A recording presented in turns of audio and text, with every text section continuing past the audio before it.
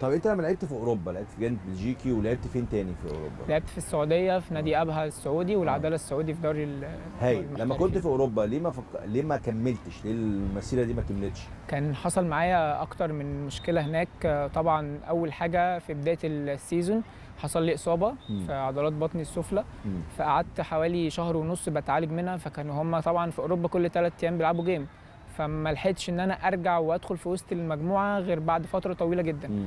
آه بعدين كان عندي معسكر مع المنتخب الأولمبي مع كابتن شوقي غريب طبعا. كنا مسافرين روسيا أعتقد مم. فلما رجعت آه، من بره من بلجيكا أنا كانت الفيزا بتاعتي كانت بتخلص فما كانش ينفع آجي مصر عشان مش هعرف أسافر تاني غير بفيزا جديدة لأن كان ال ID card ما كانش لسه طلع لي هناك فرجعت وقعدت شهر هنا بعد ما خلصت مع المنتخب في روسيا قعدت شهر هنا بحاول إن أنا آه، أخرج ال- الفيزا لأن هما طبعا كل سفارة وليها ال- الطقوس بتاعتها. صحيح. فبلجيكا طبعا ما فيش بقى إن التل- التليفون والموضوع يخلص بسرعة.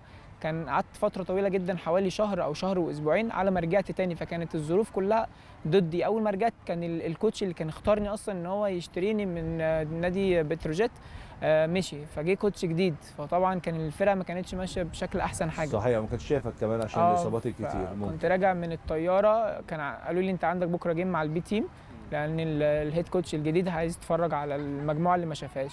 فكنت أنا تعبان جدا يعني بس قلت مش مهم يعني هحاول على قد ما أقدر أظهر بشكل كويس.